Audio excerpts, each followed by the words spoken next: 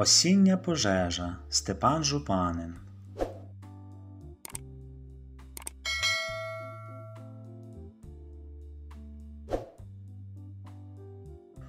Сонно за хмари дощ визирав, сіяв краплини у лузі між трав, раптом побачив, діброва горить, взявся гасити пожежу в ту ж мить. Море води на дерева розлив, тільки пожежі не погасив. Жовтогарячим, червоним вогнем дерева палають під буйним дощем. Пожежа в діброві аж неба сягла, а дощик не відав, тож осінь прийшла.